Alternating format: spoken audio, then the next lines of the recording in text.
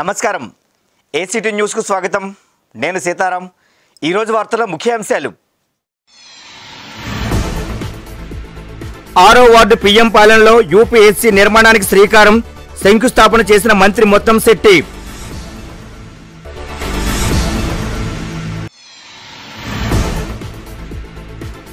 అందంగా రూపుదిద్దుకున్న సర్కారీ బడులు గోడలపై సందేశాత్మక చిత్రాలు.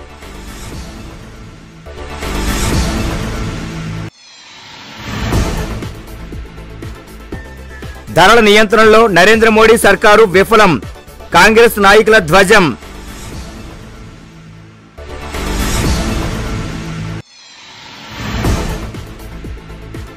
స్టీల్ ప్లాంట్ను ప్రైవేటు పరం చేస్తే ఖబర్దార్.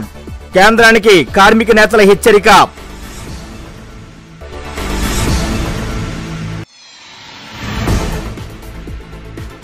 చెత్తపై వినియోగ ఛార్జీల వసూలుకు రంగం సిద్ధం. చర్యలను వేగవంతం చేస్తున్న జీవీఎంసీ. ఇక వార్తల్లోని వివరాలకు వెళ్దాం జగన్మోహన్ రెడ్డి సర్కారు విద్య వైద్యానికి అధిక ప్రాధాన్యత ఇస్తోందని మంత్రి ముత్తంశెట్టి శ్రీనివాసరావు నగర మేయర్ గొలగాని హరివెంకట కుమారులు చెప్పారు. ఆరో వార్డు అవంతి ఫంక్షన్ హాల్ సమీపంలో అర్బన్ ప్రైమరీ హెల్త్ సెంటర్ నిర్మాణానికి వారు శంకుస్థాపన చేశారు. ముఖ్యమంత్రి వైఎస్ జగన్మోహన్ రెడ్డి ప్రజారోగ్యానికి అధిక ప్రాధాన్యత ఇస్తున్నారని మంత్రి ముత్తంశెట్టి శ్రీనివాసరావు నగర మేయర్ గొలగాని హరివెంకట కుమారులు చెప్పారు. ఆరో వార్డు పిఎం పాలనలో ఎనభై లక్షల రూపాయల నిధులతో జీవీఎంసీ నిర్మించనున్న యూపీహెచ్సి నిర్మాణానికి వారు శంకుస్థాపన చేశారు. ఆ వార్డు కార్పొరేటర్ లక్ష్మీ ప్రియాంక అధ్యక్షతన జరిగిన ఈ కార్యక్రమాన్ని ఉద్దేశించి వారు మాట్లాడారు. జీవీఎంసీ పరిధి తొంభై ఎనిమిది వార్డుల్లో నలభై ఎనిమిది యూపీహెచ్సీల నిర్మాణం చేపడుతున్నట్లు గుర్తు చేశారు. దీనిలో భాగంగా ప్రస్తుతం శంకుస్థాపన చేసిన ఈ హెల్త్ సెంటర్ మరో మూడు నాలుగు నెలల్లో అందుబాటులోకి వస్తుందని చెప్పారు. కార్యక్రమంలో జీవీఎంసీ ప్రజారోగ్యం విభాగం అధికారులు స్థానిక వైసీపీ నాయకులు పాల్గొన్నారు. పిఎం పాలెంలో ఒక ఎనభై లక్షల రూపాయలతోటి అర్బన్ ప్రైమరీ హెల్త్ సెంటర్ శంకుస్థాపన చేయడం జరిగింది. ఇది ఒక మంచి కాలనీ. మరి గతంలో మధురవాడకే ఒక మంచి కాలనీ ఇది. ఇక్కడ గతంలో శాసనసభ్యుడిగా పనిచేసినప్పుడు ఇక్కడ ఒక సచివాలయ కమ్యూనిటీ బిల్డింగ్ ఒకటి ప్లస్ కమ్యూనిటీ హాల్ ఒకటి కట్టించడం జరిగింది. మళ్ళీ ఈ రోజున రెండోసారి శాసనసభ్యుడిగా అయిన తర్వాత మరి ఈ కాలనీలో ఈ ఎనభై లక్షలతోటి అర్బన్ ప్రైమరీ హెల్త్ సెంటర్ శంకుస్థాపన చాలా సంతోషం. నా అదృష్టంగా భావిస్తున్నాను. మరి గతంలో ఈ మాస్టర్ ప్లాన్ రోడ్స్ కానీ డ్రైన్స్ కానీ గతంలో ఎమ్మెల్యే ఉన్నప్పుడు ఎన్నో కార్యక్రమాలు చేయడం జరిగింది. మరి ఇప్పుడు కూడా జరిగిన జీవీఎం సెలక్షన్స్లో కూడా మా పాపని మొత్తం డాక్టర్ మొత్తం ర్యాంక్ని మరి గెలిపించడం చాలా సంతోషం. ఈ వార్డుల్లో ఇరవై కోట్ల రూపాయల కార్యక్రమాలు అభివృద్ధి కార్యక్రమాలు వివిధ దశల్లో ఉన్నాయి. మరి ఇక్కడ ఈ వార్డులో ఉన్నటువంటి మన స్థానిక నాయకులు రోసిరెడ్డి కానీ అప్పలరాజు కానీ చంద్రరావు కానీ మన నగర కార్పొరేట్ చైర్మన్ కానీ మన మూర్తి వీళ్ళందరూ సహకారంతో ఈ వార్డుని మరి అన్ని రకాలకు కూడా మరి అభివృద్ధి చేయడం జరుగుతుంది. ముఖ్యంగా జీవీఎంసీ అధికారులు అభివృద్ధికి ఎంతో సహకరిస్తున్నారు. కొన్ని అపోహలు ప్రధాన ప్రతిపక్షాలు కావాలని సృష్టిస్తున్నాయి. ఈ యొక్క మధురవాడ భీమిలి ఈ నియోజకవర్గంలో తీసుకుంటే ఈ రెండు సంవత్సరాల్లో వంద కోట్ల రూపాయల అభివృద్ధి కార్యక్రమాలని ఏది వెల్ఫేర్ కాకుండా మరి రోడ్స్ కానీ డ్రైన్స్ కానీ కమ్యూనిటీ హాల్స్ కానీ వివిధ దశల్లో ఉన్నాయి. నిన్న జిల్లా వ్యాప్తంగా కూడా రివ్యూ చేయడం జరిగింది. మరి పంచాయతీరాజ్ రోడ్స్ కూడా ఫైవ్ హండ్రెడ్ క్రోర్స్ తోటి అవుతున్నాయి. ఆర్ఎన్బి కూడా ఎన్డీబీ బ్యాంక్ అసోసియేషన్ తోటి ఒక నూట యాభై కోట్ల రూపాయలు శాంక్షన్ అయింది. అవి కూడా టెండర్ స్టేజ్లో ఉన్నాయి. తప్పనిసరిగా స్టార్ట్ చేయడం జరుగుతుంది. ఒక పంచాయతీరాజ్ అంటే ఒక ఆర్ఎన్బి అంటే ఒక ఇరిగేషన్ ఏంటి ఒక మున్సిపాలిటీ ఏంటి మరి అన్ని డిపార్ట్మెంట్స్ కూడా మొన్నటిదాకా బిల్స్ రావట్లేదని ఒక అపోహ సృష్టించారు. మరి ఆ విషయం గౌరవ ముఖ్యమంత్రిగా దృష్టి తీసుకెళ్ళగానే సచివాలయాల బిల్డింగ్లు ఏవవుతున్నవన్నీ కూడా క్లియర్ చేయమని చెప్పారు. అన్ని నియోజకవర్గాల సచివాలయాలు మాక్సిమం జూలై థర్టీ ఎత్తు లేకపోతే ఆగస్ట్ ఫిఫ్టీన్త్ కల్లా కంప్లీట్ చేయాలని చెప్పారు. ఇది ఎనభై లక్షల వ్యయంతో ఏర్పాటు చేస్తున్న చేస్తున్నారు. అలాగే మూడు నుంచి నాలుగు నెలల కాలంలో అర్బన్ హెల్త్ క్లినిక్ అన్నది ప్రజల ముందుకు రాబోతుంది. ప్రతి ఒక్కరు దీన్ని వినియోగించుకోవాలని తెలియజేసుకుంటున్నాను. ముఖ్యమంత్రి జగన్మోహన్ రెడ్డి గారు ఒక పక్క సంక్షేమ పథకాలు ప్రవేశపెడుతూ ఒక పక్క ప్రజలకు హెల్త్ పరంగా కూడా ఇలా అర్బన్ హెల్త్ క్లినిక్లు పెట్టి వాళ్ళకి ఏ ప్రాబ్లం లేకుండా చేస్తున్నారు. ఇటువంటి ముఖ్యమంత్రి మనకి ఎప్పుడూ కూడా ఎక్కడ కూడా మనం చూడలేదు. కనుక ఇటువంటి ముఖ్యమంత్రికి మనం ఎప్పుడు రుణపడి ఉంటాము. అర్బన్ ప్రైమరీ హెల్త్ సెంటర్ ఈరోజు స్టార్ట్ చేయడం చాలా సంతోషంగా ఉంది.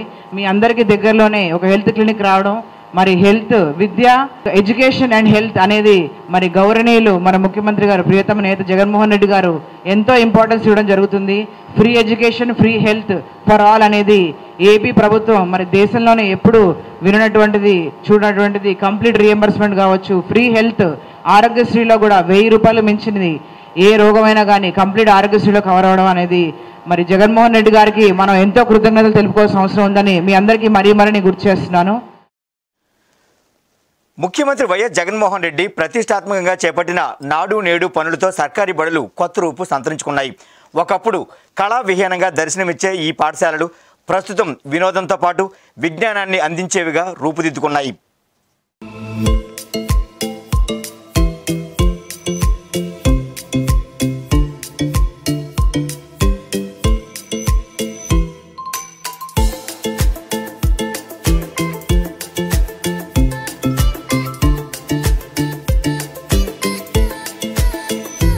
ఒకప్పుడు దుంపల బడులుగా పేరు పొందిన ప్రభుత్వ పాఠశాలలు ఇప్పుడు నాడు నేడు పనులతో సరికొత్త హంగులను సమకూర్చుకున్నాయి. ఒకప్పుడు కనీస వసతులకు నోచుకోక విద్యార్థుల అడ్మిషన్లు లేక కళ తప్పిన పాఠశాలలు నేడు సరికొత్త అందాలతో విద్యార్థులను ఎంతగానో ఆకర్షిస్తున్నాయి. ఆయా గోడలపై విజ్ఞానదాయకమైన చిత్రాలతో ఆకర్షణీయంగా తయారయ్యాయి. పిల్లల దృష్టిని ఇట్టే ఆకర్షించేలా గోడలపై చక్కని చిత్రాలు కొలువుదీరాయి. పాఠశాలల తరగతి గదుల్లోనికి ప్రవేశించిన విద్యార్థులకు మరో ఆలోచన రానివ్వనంతగా ఎటు చూసినా వినోదంతో పాటు ఆలోచింపజేసే విజ్ఞానదాయకమైన చిత్రాలు ఆయా గోడలపై దర్శనమిస్తున్నాయి. ముఖ్యంగా విశాఖ నగరంలోని మధురానగర్ జీవీఎంసీ ఉన్నత పాఠశాల ఈ చక్కని కుడ్య చిత్రాలతో పిల్లలతో పాటు పెద్దలను ఎంతగానో ఆకట్టుకుంటోంది. తరగతి పాఠాల్లోని సైన్సు భౌగోళిక పటాలతో పాఠశాల గోడలను అందంగా చిత్రీకరించారు. సైన్స్లోని మానవ శరీరం జీర్ణ వ్యవస్థ కాలేయం గుండె తదితర చిత్రాలతో పాటు సాంఘిక శాస్త్రంలోని భూగోళం మ్యాప్ల బొమ్మలు ఆకట్టుకుంటున్నాయి. పాఠశాల మొత్తం గోడల విస్తీర్ణంలో మూడు నుండి నాలుగు వేల చదరపు అడుగుల మేర గోడల్ని చిత్రాలతోనే నింపేశారు. విద్యార్థుల్లోని మేధస్సుకు పదును పెట్టడంతో పాటు వారి వారి జ్ఞాపక శక్తిని పెంపొందింప చేయడానికి ఈ చిత్రాలు ఎంతో ఉపయుక్తమని పాఠశాల ప్రధానోపాధ్యాయుడు దేముడు బాబు ఏసీటీ న్యూస్కు చెప్పారు. గౌరవ ముఖ్యమంత్రి గారు జగన్మోహన్ రెడ్డి గారు ప్రతిష్టాత్మకంగా ప్రవేశపెట్టిన నాడునేడు కార్యక్రమంలో భాగంగా మా పాఠశాల ఎంపిక అవడం జరిగింది. ఈ నాడునేడు కార్యక్రమంలో మా పాఠశాల గతంలో కంటే ఈ సం ఈ కార్యక్రమంలో రూపురేఖలు పూర్తిగా మారాయి. పాఠశాలకు విద్యార్థులు చదువుకోవడానికి చాలా ఉత్సాహంగా ఉత్సాహంగా రావటం జరుగుతుంది. ఈ కార్యక్రమంలో భాగంగా మా పాఠశాలలో శానిటేషన్ అయితేనేమి అలాగే టాయిలెట్స్ కానీ డ్రింకింగ్ వాటర్ కానీ బెంచెస్ కానీ ఫ్యాన్లు లైట్లు ఎలక్ట్రిఫికేషను అలాగే వాటరు మినరల్ వాటరు ఇవన్నీ కూడా సదుపాయాలు కల్పించడం జరిగింది. అంతేకాకుండా వాల్ ఆర్ట్ కూడా ఆ పాఠశాల ప్రతి క్లాస్ రూమ్లో వాలౌట్ వేయడం జరిగింది. ఆయా క్లాసు క్లాస్ సంబంధించి పాఠ్యాంశాలకు సంబంధించి ప్రతి తరగతిలో కూడా వాలెట్ వేయడం జరిగింది. ఆ వాలెట్ ఎట్లా ఉన్నాయంటే జీవనం పోసే విధంగా విద్యార్థిని ఆకర్షించే విధంగా విద్యార్థి స్వయంగా నేర్చుకునే విధంగా వాలెట్లు వేయడం జరిగింది. తద్వారా విద్యార్థులు చాలా ఆనందంగా పాఠశాలకు వచ్చి ఆ వాలెట్ ద్వారా వేసిన బొమ్మల ద్వారా పాఠ్యాంశాలు నేర్చుకోవడానికి చాలా దోహదపడుతుంది. తొందరగానే వాళ్ళ యొక్క మెదడుకి పదును పెట్టి జిజ్ఞా విజ్ఞానం మరింత పెంచుకునే విధంగా వాలెట్లు అనేది చాలా చక్కగా రూపుదిద్దుకోవడం జరిగింది. మరి అంతేకాకుండా మా పాఠశాలలో ఇంగ్లీష్ మీడియం ప్రవేశపెట్టడం జరిగింది. చుట్టుపక్కల ఉన్నటువంటి స్కూల్ అన్నిటికంటే మా పాఠశాలలో రెండు వందల అరవై ఐదు మంది విద్యార్థులు చేర చేరడం జరిగింది. మా పాఠశాల పనిచేస్తున్న ఉపాధ్యాయులు ప్రతి ఒక్కరు కూడా ఆన్లైన్ క్లాసుల ద్వారా పాఠ్యాంశాలను బోధించడము అలాగే వర్క్షీట్లు విద్యార్థులకి పంపించి మళ్ళీ విద్యార్థుల ద్వారా వర్క్షీట్లు తెప్పించుకొని కరెక్షన్ చేసి విద్యార్థుల యొక్క తప్పులను దాన్ని సరిచేసే కార్యక్రమం కూడా మేము ప్రవేశపెట్టడం చేపట్టడం జరిగింది. మధురా నగర్ పాఠశాల మౌలిక సదుపాయాలతో సరికొత్త సొబగులు అద్దుకోవడంపై విద్యార్థుల తల్లిదండ్రులు స్థానికులు హర్షాన్ని వ్యక్తం చేస్తున్నారు. ప్రైవేటు కార్పొరేట్ పాఠశాలల్లో జీవించుకోలేని తమలాంటి పిల్లలకు ఆహ్లాదకరమైన వాతావరణంలో విద్యను అందించేలా సర్కారీ బడులు హంగులు సమకూర్చుకోవడం ఎంతో సంతోషంగా ఉందని అన్నారు. ఒకప్పుడైతే ఈ స్కూల్లో చదవడానికి ఏంటమ్మా గవర్నమెంట్ స్కూలు అలాగే ఇలాగని అనేవారండి. కానీ ఇప్పుడైతే మరి ఈ స్కూల్లో చదివినందుకు పిల్లలు చాలా హ్యాపీగా ఫీల్ అవుతున్నారు. స్కూల్కి ఎంట్రన్స్ రాగానే ఈ బొమ్మలు అవి చూడడం వల్ల కొంచెం చాలా ఆసక్తి చూపిస్తున్నారు. చదవడానికి మరి చాలా ఆసక్తిగా ఉంటున్నారండి. మరి నాడు నేడు పథకం పెట్టిన కాడ నుంచి చాలా స్కూల్ మట్టు చాలా ఇంప్రూవ్ అయ్యింది చాలా బాగుంది. మరి పొద్దున స్కూల్ పెట్టినప్పటికి కూడా పిల్లలు ఇంకనూ కూడా ఆసక్తిగా స్కూల్కి వచ్చి చదువుకుంటారని అనుకుంటున్నామండి. మాస్టర్లు చెప్పిన దానికంటే మరి ఇప్పుడు ఇది చూడగానే ఇంకా పిల్లలు ఎక్కువ జ్ఞానం పెంపొందించుకుంటారని అనుకుంటున్నాను చిత్రాలు అయితే మరి చాలా బాగున్నాయండి. మరి చూడగానే పెద్దలకి మాకే అయితే చాలా సంతోషంగా ఉంది. పిల్లలకైతే ఇంకా ఆసక్తిగా ఉంటుంది. మరి చిత్రాలు అయితే మరి పద్యాలు అవి రాసున్నాయి మరి ఎక్కాలు అవి రాసున్నాయి. అవన్నీ పిల్లలైతే చూస్తున్నారు. వాటిని బట్టి ఇంకా వాళ్ళు చూసి చదువుకోవడం నేర్చుకోవడం ఇంకా జ్ఞానంగా ఉంటున్నారండి పిల్లలు. రేపు స్కూల్ ఓపెన్ చేసేసరికల్లా ఈ స్కూలు డెవలప్మెంట్ బాగా చేశారు. ప్లస్ ఏంటంటే ఈ చిత్రాలు ఇక్కడ చిత్రాలు ఏంటంటే పిల్లలు బాగా నేర్చుకోవడానికి అవగాహనగా బాగా చే చిత్రాలు వేయ వేయడం వల్ల ఎవరికైనా అవగాహన బాగుంటుంది. ఆ చిత్రాల వల్ల పిల్లలు చాలా నేర్చుకుంటారు. అప్పటికి ఇప్పటికి స్కూల్లో చాలా మార్పు చాలా నీట్నెస్గా మొత్తం చాలా బాగా చేశారు. ఇది ఏంటంటే సార్లు చెప్పిన విధంగా అయితే ఇవన్నీ చాలా బాగున్నాయి బాగా డెవలప్మెంట్ చేశారు. పిల్లలకి చూడగానే ఇంకో కొత్త తరానికి బాగా నేర్చుకోవడానికి ఉపయోగపడుతుందని నేను అనుకుంటున్నాను. అంటే సబ్జెక్ట్ వైజ్గా ఏ సబ్జెక్ట్గా సబ్జెక్ట్? ఆ, ఏ సబ్జెక్ట్గా సబ్జెక్ట్ చిత్రాలు చూసి పిల్లల్లో వేగంగా నేర్చుకునే ఆ- అవగాహన వస్తుందని నేను అనుకుంటున్నాను. ఎందుకంటే అప్పటికి ఇప్పటికి చాలా డెవలప్మెంట్గా స్కూల్ కూడా చాలా నీట్గా పరిసర పరిశుభ్రతగా ఉంచడం వల్ల పిల్లలు కూడా చాలా నీట్గా చదువుకుంటారని అనుకుంటున్నాను. ఆ చిత్రాలు చూసి ఇంకా చాలా చాలా నేర్చుకుంటారని అనుకుంటున్నాను. ఆ చిత్రాల వల్ల అంత చిత్రాల్లో అంత ఇదిగా వేశారు. దానివల్ల డెవలప్మెంట్ వల్ల పిల్లల్లో మార్పు కూడా వస్తుందని నేను అనుకుంటున్నాను.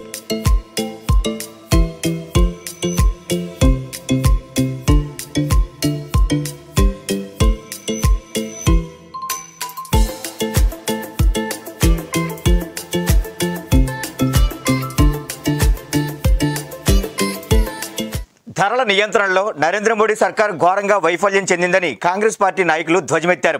పెట్రోలు డీజిల్ వంట గ్యాస్ ధరలు పెంచి ప్రజలపై ఆర్థిక భారం మోపుతోందంటూ కేంద్ర ప్రభుత్వం తీరుపై మండిపడ్డారు. ఈ మేరకు డీసీసీ అధ్యక్షులు రొత్తల శ్రీరామూర్తి ఆధ్వర్యంలో పెరిగిన ధరలను తక్షణమే తగ్గించాలని కోరుతూ పెందుర్తి పెట్రోల్ బంక్ వద్ద ధర్నా చేపట్టారు. ఈ సందర్భంగా ఆయన మాట్లాడుతూ గత రెండేళ్ళుగా కరోనా మహమ్మారి వల్ల ప్రజలందరూ ఒకవైపు ప్రాణాలు మరోవైపు ఉపాధి కోల్పోతుంటే ఇటువంటి పరిస్థితుల్లో ప్రజలపై కేంద్ర ప్రభుత్వం ఆర్థిక భారం మోపడం మంచి పద్ధతి కాదని విమర్శించారు.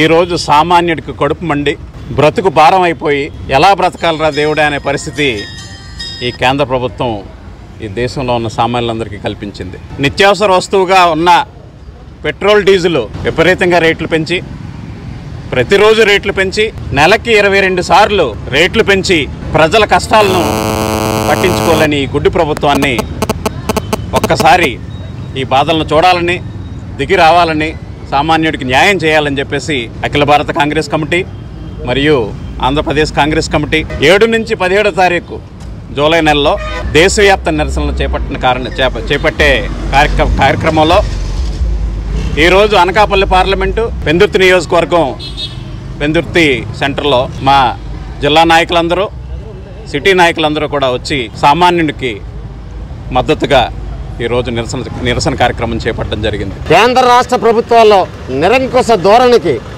అఖిల భారత కాంగ్రెస్ పార్టీ మరియు ఆంధ్రప్రదేశ్ కాంగ్రెస్ కమిటీ విశాఖ నగర కాంగ్రెస్ మరియు విశాఖ పార్లమెంటు అనకాపల్లి పార్లమెంటు అధ్యక్షులు పెందుర్తి నియోజకవర్గం మరియు యూత్ కాంగ్రెస్ ఆధ్వర్యంలో పెట్రోల్ డీజిల్ వంట గ్యాస్ పెరుగుదలకు నిరసనగా సంతకాల సేకరణ ధర్నా కార్యక్రమం చేపట్టడం జరిగింది.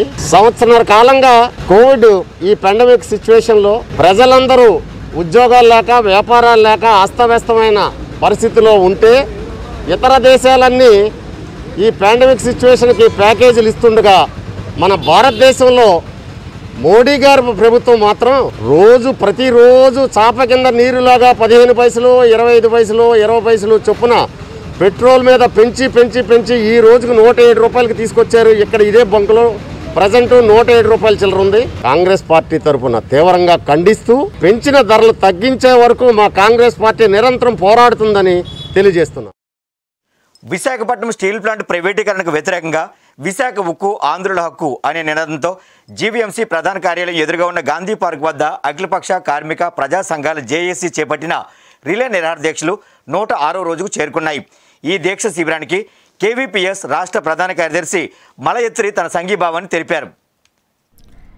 విశాఖ ఉక్కును ప్రభుత్వ రంగంలోనే కొనసాగించాలని కేవీపీఎస్ రాష్ట్ర ప్రధాన కార్యదర్శి అండ్రా మలయత్రి డిమాండ్ చేశారు. ఐదు కోట్ల ఆంధ్రుల ఆత్మగౌరవానికి ప్రతిరూపమైన ఈ కర్మాగారాన్ని ప్రైవేట్ పరం చేయాలని ప్రయత్నిస్తే మాత్రం ప్రజాగ్రహానికి గురికాక తప్పదని హెచ్చరించారు. జీవీఎంసీ గాంధీ పార్క్ వద్ద విశాఖ అఖిలపక్ష కార్మిక ప్రజా సంఘాల జేఏసీ ఉక్కు పరిరక్షణ కోసం చేపట్టిన రిలే నిరాహార దీక్షలు నూట ఆరవ రోజు కొనసాగాయి. శిబిరానికి సంఘీభావం తెలిపిన అనంతరం మలయత్రి మాట్లాడారు. దేశ ఆర్థిక వ్యవస్థకు వెన్నుదన్నైన ప్రభుత్వ రంగ సంస్థలను కారు చౌకగా ప్రైవేట్ వ్యక్తులకు కట్టబెట్టాలని చూస్తే మాత్రం తీవ్రంగా ప్రతిఘటిస్తామని మోడీ సర్కార్కు హెచ్చరించారు. గత నూట రోజులుగా ఈ దేశంలో ఆంధ్రుల ఆత్మగౌరవంతో అనేక మంది త్యాగదండల యొక్క కీర్తితోటి విశాఖ ఉక్కు ఏర్పడింది. అలాంటి విశాఖ ఉక్కుని నేటి మనువాద మతోన్మాద బీజేపీ ప్రభుత్వం కార్పొరేట్ శక్తులకి అమ్మటం కోసం ప్రయత్నం చేస్తూ ఉంది. దీన్ని వ్యతిరేకిస్తూ చేస్తున్నటువంటి దీక్షలకు కుల పోరాట సంఘం సంపూర్ణమైన మద్దతు తెలియజేస్తూ ఉంది. ఈరోజు మనువాద మతోన్మాద బీజేపీ పార్టీ ఈ యొక్క ప్రభుత్వ రంగ సంస్థల మొత్తాన్ని కూడా కార్పొరేట్ శక్తులు దారితీసేటువంటి ఒక రకంగా డాక్టర్ బిఆర్ అంబేద్కర్ గారు ఏదైతే కోరుకున్నారో అలాంటి రాజ్యాంగానికి వ్యతిరేకం రిజర్వేషన్లకు వ్యతిరేకం కాబట్టి ఈ యొక్క మనువాద మతోన్మాద బీజేపీ ప్రభుత్వం ఈ యొక్క విధానాలు నిర్మించుకోవాలని చెప్పి కోరుతా ఉన్నాం. అదే క్రమంలో ఈరోజు ఏదైతే జేఏసీ ఉందో ఈ జేఏసీ ఈ యొక్క ప్రభుత్వ రంగ సంస్థను కాపాడుకునే క్రమంలో ఆగస్టు రెండు మూడు తేదీలు జరిగినటువంటి చలో పార్లమెంట్ కార్యక్రమంలో కూడా కేవీపీఎస్ పాల్గొంటుంది. అదే క్రమంలో ఈరోజు దేశంలో వ్యవసాయ రంగాన్ని కాపాడుతూ భూమిని కాపాడుతూ కాపాడుకునే క్రమంలో చేసే క్రమంలో వ్యవసాయ రంగాన్ని కూడా బీజేపీ ప్రైవేట్ పరం చేయడం కోసం ప్రయత్నం చేస్తూ ఉంది. కార్పొరేట్ శక్తులు అమ్మడానికి ప్రయత్నం చేస్తూ ఉంది. ఆ క్రమంలో దేశంలో ఉన్నటువంటి రాజధాని ఢిల్లీలో రైతన్నులు ఉద్యమం చేస్తూ ఉన్నారు. ఆ ఉద్యమానికి మద్దతుగా ఈ రెండు ఉద్యమాల మద్దతుగా కూడా ఈరోజు రాష్ట్రంలో అనేక ప్రజా సంఘాల ఆధ్వర్యంలో జాతీయ రహదారుల కార్యక్రమాన్ని కూడా పిలిపిస్తా ఉన్నాం. దీనికి దీని ఇప్పుడు ఇప్పటికైనా కేంద్ర ప్రభుత్వం వినాలని చెప్పి కోరుకుంటా ఉన్నాం. మరో క్రమంలో ఈరోజు మన రాష్ట్రంలో ఏంటి అధికార ప్రతిపక్ష పార్టీలు అయితే ఉన్నాయో అధికార ప్రతిపక్ష పార్టీలు కూడా ఉమ్మడిగా ఈ యొక్క ఉద్యమంలో కలిసి రావాల్సిన అవసరం ఉందని చెప్పి తెలియజేస్తా ఉన్నాం. రాష్ట్ర ప్రభుత్వం ఈ యొక్క స్టీల్ ప్రైవేటీకరణని సపోర్ట్ చేస్తూ అసెంబ్లీలో తీర్మానం చేయడం అనేది స్వాగతిస్తా ఉన్నాం. అదే క్రమంలో ఈరోజు ఇక్కడ ఉన్న రాష్ట్రంలో పార్లమెంట్ సభ్యులు ఎవరైతే ఉన్నారో రేపు పార్లమెంట్లో నిలదీయాలని చెప్పి కోరుతా ఉన్నాం. చెత్త వినియోగ ఛార్జీల వసూళ్ళకు సంబంధించి జీవీఎంసీ కసరత్తు మొదలుపెట్టింది. ఆయా చర్యలను వేగవంతం చేసింది. ఛార్జీల వసూళ్ళకు సంబంధించి సమాచారాన్ని ప్రజలకు ఇవ్వాలని వార్డు పారిశుధ్య పర్యావరణ కార్యదర్శులకు ఆదేశాలు జారీ చేశారు. ఆస్తి పన్నుతో పాటు చెత్తపై యూజర్ ఛార్జీలను వసూలు చేయాలన్న ప్రభుత్వ చర్యలపై పెద్ద ఎత్తున నిరసన వ్యక్తమవుతుంది. అయినా ప్రభుత్వం వీటినేమీ పట్టించుకోవడం లేదు. పైగా వీటి వసూలకు జీవీఎంసీ తొందరపడుతోంది. ముఖ్యంగా చెత్త వినియోగ ఛార్జీల వసూళ్ళకు సంబంధించి ప్రజలకు సమాచారం ఇవ్వాలని సంబంధిత సిబ్బందికి ఆదేశాలు జారీ చేసింది. వాణిజ్య వ్యాపార సముదాయాలు కళ్యాణ మండపాలు హోటళ్ళు లాడ్జీలు నగరంలోని అన్ని ప్రాంతాల నుంచి చెత్తపై యూజర్ ఛార్జీలు వసూలు చేయనున్నారు. మురికివాడలో నెలవారీ వసూలు చేసే రుసుముతో మార్పులు చోటు చేసుకునే అవకాశాలు ఉన్నట్లు సమాచారం. టౌన్ కొత్త రోడ్డు సమీపంలో కొలువై ఉన్న జగన్నాథ స్వామివారి కళ్యాణ రథోత్సవాల్లో భాగంగా శ్రీ స్వామివారి దశావతారాల అలంకరణలు కొనసాగుతూనే ఉన్నాయి. స్వామివారు రోజుకు అవతారంలో భక్తులకు దర్శన భాగ్యం కల్పిస్తున్నారు. దీనిలో భాగంగా నరసింహ అవతారంలో జగన్నాథ స్వామివారు భక్తులకు దర్శన భాగ్యం కల్పించారు. కోవిడ్ నిబంధనలకు లోబడి అర్చక స్వాములు భక్తులకు స్వామివారి అవతారాల సందర్శనకు అవకాశం కల్పిస్తున్నారు. ఈ సందర్భంగా ఆలయ అర్చకులు రంగనాథాచార్యులు మాట్లాడుతూ సుభద్ర బలభద్ర సమేత జగన్నాథ స్వామివారి అవతారాల విశిష్టతను వివరించారు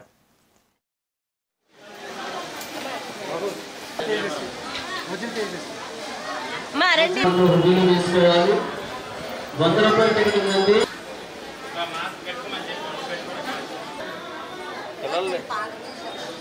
ఖాళీగా ఉందండి వంద ఖాళీగా ఉంటే శ్రీ విశాఖపట్నం కొత్త రోడ్డు గ్రామంలో వెంచేసి ఉన్నటువంటి శ్రీ జగన్నాథ స్వామి వారి యొక్క రథోత్సవంలో భాగంగా ఈరోజు ఉత్సవం ఆరంభమై ఐదవ రోజుగా చెప్పబడుతుంది. ఈరోజు చాలా విశిష్టమైనది అవతారంగా చెప్పబడుతుంది. నృసింహ అవతారంలో స్వామివారు దర్శనమిస్తూ ఉన్నారు. ఈ రోజు నుంచి స్వామివారు తొలి రథయాత్ర రోజున ఉత్తర దిశ యాత్రగా చేసినటువంటి యాత్రను ఈ రోజు నుంచి మళ్ళీ రథయాత్ర దక్షిణ యాత్రకి ఏర్పాట్లు గావించుటకు ఆ రథమును దక్షిణ దిశగా తిప్పడం జరుగుతుంది. అటువంటి హెరా పంచమి ఈరోజు సాయంత్రము ఎనిమిది గంటలకు లక్ష్మీదేవి అమ్మవారి యొక్క ఉత్సవం జరుగుతుంది. అలాగే ఈరోజు నృసింహ అవతారము దుష్ట శిక్షణ శిష్ట రక్షణ గావించడకు ఎల్లవేళలా నేను అవతరిస్తూ ఉంటాను అని చెప్పడానికి నిదర్శనమైనటువంటి నర సింహని రూపంలో స్వామివారు దర్శనమిస్తూ ఉన్నారు. హిరణ్యాక్ష వధ జరిగిన తర్వాత తన అన్నగారైనటువంటి హిరణ్యాక్షుని విష్ణువు సంహరించాడనే ఉద్దేశ్యముతో ఘోర తపస్సు గావించి రాత్రి ఎందు కానీ పగలు ఎందు కానీ భూమి మీద కానీ ఆకాశమునందు కానీ ఎటువంటిది మరణము లేకుండా వరము పొందుతాడు. ఆ వరము కారణముగా నరుడి చేత కానీ జంతువు చేత కానీ అని చెప్పని వరము పొందడం వల్ల తన గర్భమున ప్రహ్లాదుడు జన్మించి ఆ ప్రహ్లాదుడు శ్రీ శ్రీ విష్ణు భక్తుడే అనునిత్యము ఉంటుండగా ఆ విష్ణువుని ద్వేషిస్తూ నిత్యము విష్ణువు స్మరణ చేస్తూ ఆ ప్రహ్లాదుని ద్వారా ఈ నారసింహుని అవతారం గురించి తెలుసుకున్నటువంటి హిరణ్య కశపుడు నారసింహుణ్ణి ఎక్కడ ఉన్నాడో చూపించమనగా స్తంభోత్వ నారసింహుడే స్తంభాన్ని చీల్చుకుంటూ వచ్చి ఆ హిరణ్య కశపుని సంహరించినట్టుగా చెప్పబడుతుంది. అటువంటి హిరణ్య ఆ, కశప సంహారం జరిగిన తర్వాత నరుడు సింహుడు అనే రెండు రూపములతో కలబడి ఆ నారసింహ అవతారం వల్ల స్వామివారిని దర్శించుకున్నచో అన్ని విజయాలు కలుగుతాయని సర్వ దోషాలు తొలుగుతాయని చెప్పి చెప్పబడుతుంది. అటువంటి నరసింహ అవతారంలో స్వామివారు దర్శనమిస్తూ ఉన్నారు. భక్తులందరూ కూడా తరించవలసిందిగా కోరుతున్నాం. జీవీఎంసీ ఆరో వార్డు బీ టూ కాలనీలో స్థానిక పేదలకు అక్షయ పాత్ర ఫౌండేషన్ సామాజిక సేవా కార్యక్రమంలో భాగంగా నిత్యావసర సరుకుల పంపిణీ చేపట్టింది. వార్డు కార్పొరేటర్ లక్ష్మీ ప్రియాంక ఆధ్వర్యంలో జరిగిన ఈ కార్యక్రమంలో రాష్ట్ర మంత్రి ముత్తుశెట్టి శ్రీనివాసరావు నగర మేయర్ గొలగాని హరివెంకట కుమారులు స్థానిక పేదలకు అక్షయ పాత్ర ఫౌండేషన్ వితరణతో సరుకులు పంపిణీ చేశారు. అక్షయ పాత్ర సేవా కార్యక్రమాలను వారు కొనియాడారు. ఈ కార్యక్రమంలో అక్షయ పాత్ర ఫౌండేషన్ ప్రతినిధులు స్థానిక వైసీపీ నాయకులు పాల్గొన్నారు.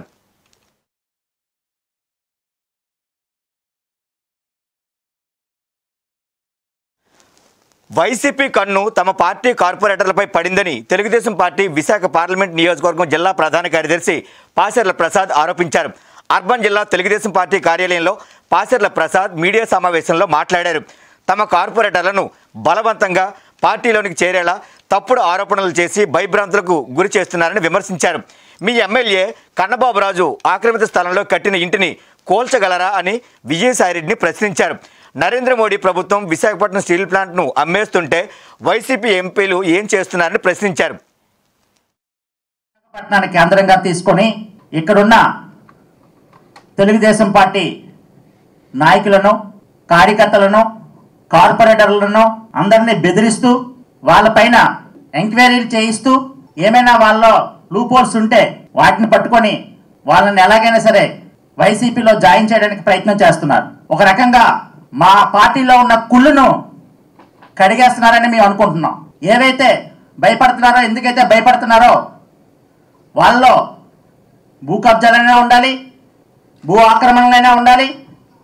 లేకపోతే వాళ్ళు ఇచ్చిన తాయిలాలకైనా వాళ్ళు భయపడాలి ఆశపడాలి. అలాంటి వ్యక్తుల్ని పిరికి పందల్ని తీసుకుని వెళ్తున్నారు. అది ఒక భూ కబ్జాదారులకు అవినీతి పరులకు వైసీపీ పార్టీని పునరావాస కేంద్రంగా తయారు చేస్తున్నటువంటి నాయకుడు ఎవరైనా ఉన్నారంటే అతను విజయసాయిరెడ్డి గారు. వాళ్ళందరినీ తీసుకుని వెళ్ళి ఏం సాధిస్తారు? తెలుగుదేశం పార్టీకి లక్షలాది మంది కార్యకర్తలు ఉన్నారు ఉత్తరాంధ్రలో.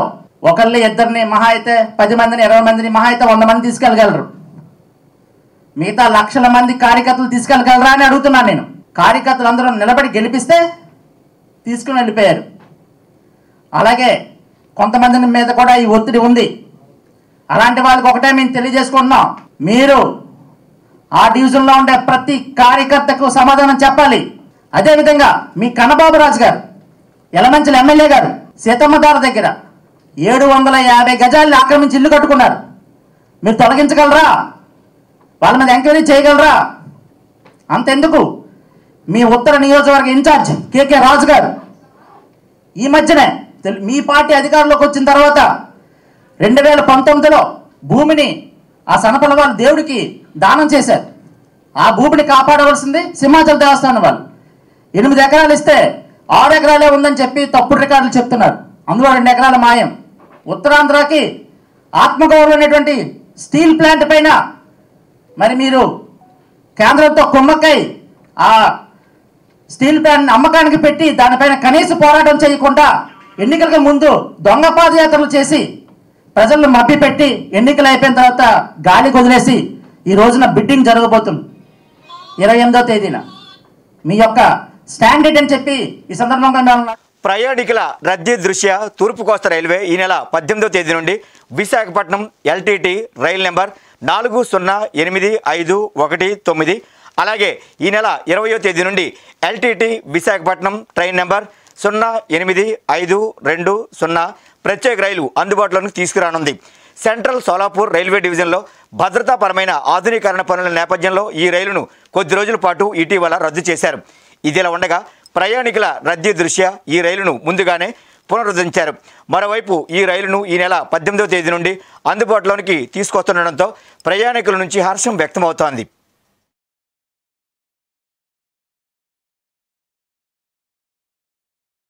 జీవీఎంసీ డెబ్బై ఒకటో వార్డు దుర్గానగర్ వాటర్ ట్యాంకు గేటుకు ఆనుకొని చిన్నపాటి షెడ్లో ఎనభై ఏళ్ళ కొండమ్మ కొండ అప్పయ్యమ్మ నివాసం ఉంటున్నారు.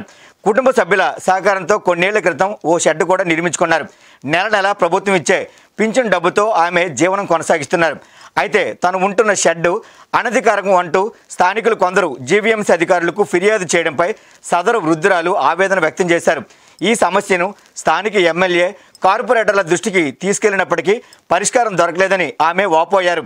షెడ్ను ఎక్కడ తొలగిస్తారన్న భయంతో ఆ వృద్ధురాలు మంచాన పడినట్లు ఆమె కుటుంబ సభ్యులు వాపోయారు.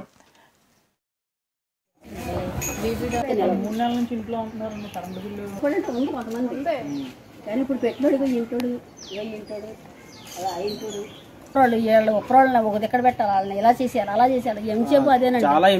అలా తిరిగి అవుతాయి నెంబర్ ఆఫీస్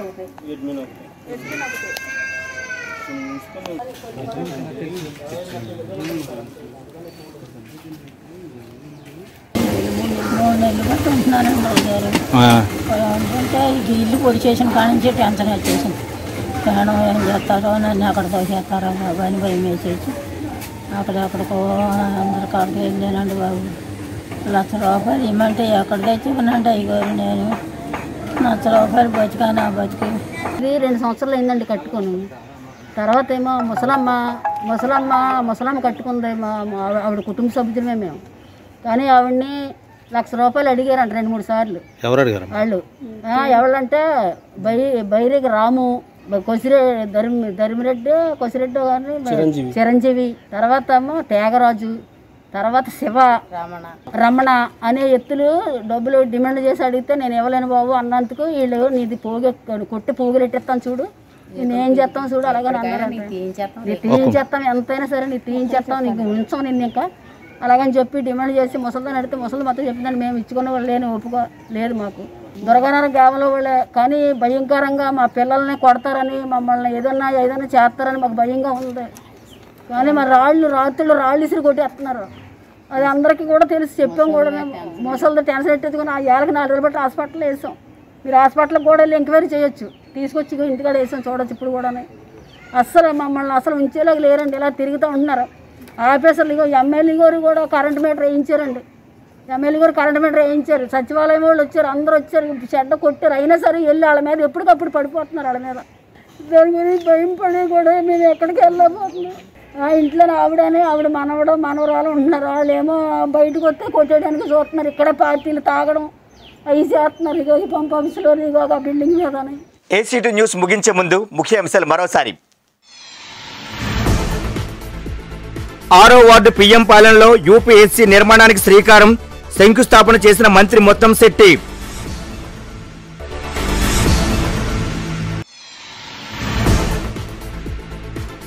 అందంగా రూపుదిద్దుకున్న సర్కారీ బడులు గోడలపై సందేశాత్మక చిత్రాలు.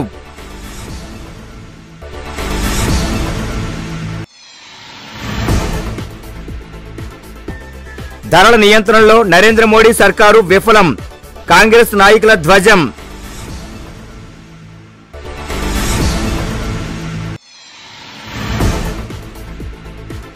స్టీల్ ప్లాంట్ను ప్రైవేటు పరం చేస్తే ఖబర్దార్. కేంద్రానికి కార్మిక నేతల హెచ్చరిక.